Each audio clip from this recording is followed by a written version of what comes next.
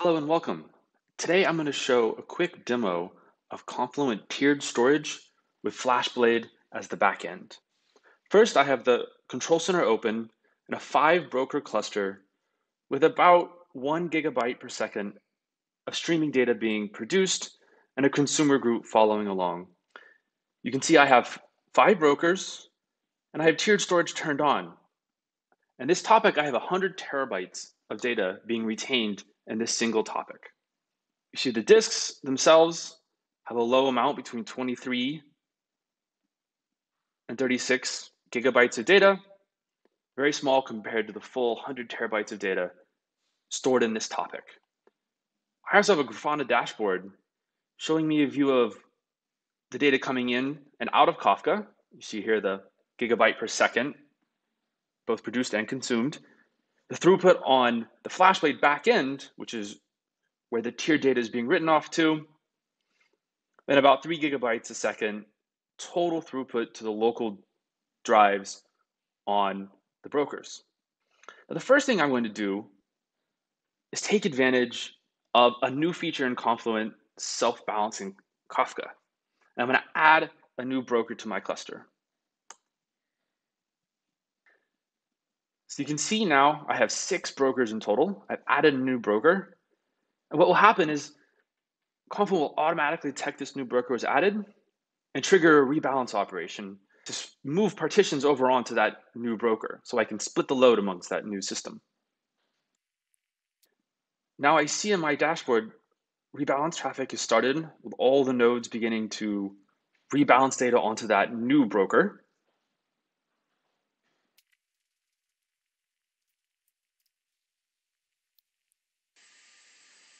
And now, after approximately a minute and a half, the rebalance is complete. What I've just done is I've rebalanced a 100 terabyte, 100 terabyte topic in a minute and a half. So it's that easy to add new brokers and scale the capacity, the performance, and take advantage of that new broker. The next thing I'm going to do is demonstrate the flexibility of FlashBlade to hold more than just Kafka, but other parts of a data pipeline as well. To do that, I'm going to start filtering a subset of the logs, the messages that are coming in, into an Elasticsearch cluster that's hosted on the same FlashBlade. Once I've started that workload, I switch over to this new dashboard, which shows both the messages per second that Kafka is processing, about 20 million in this case, and the documents per second that Elasticsearch is indexing.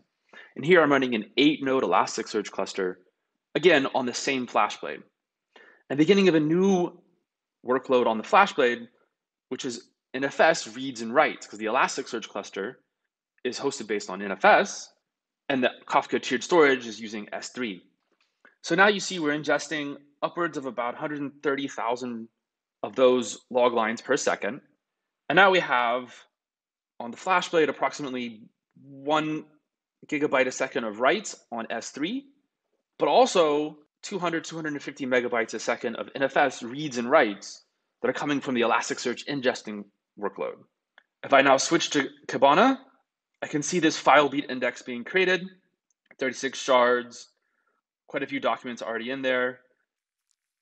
With Kibana open, I can now issue queries and start to look at some of the log data that was processed through Kafka and Elasticsearch.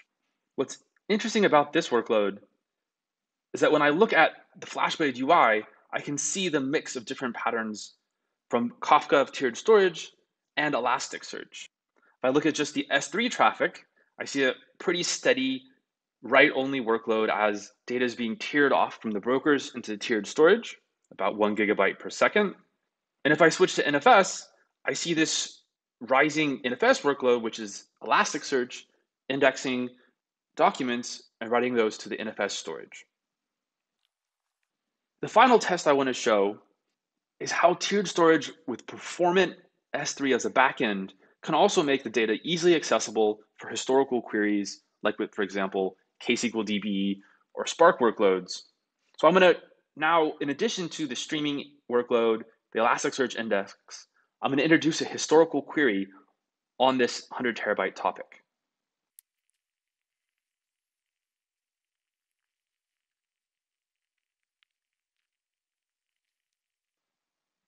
So now my streaming workload continues at one gigabyte per second. My Elasticsearch ingest at 150,000 documents per second continues.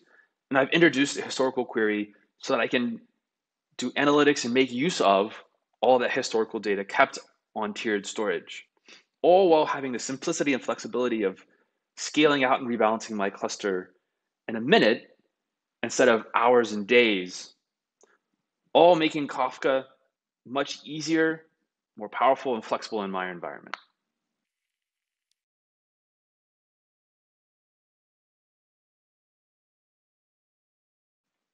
This has been a demo combination of Confluent tiered storage and FlashBlade. Thank you.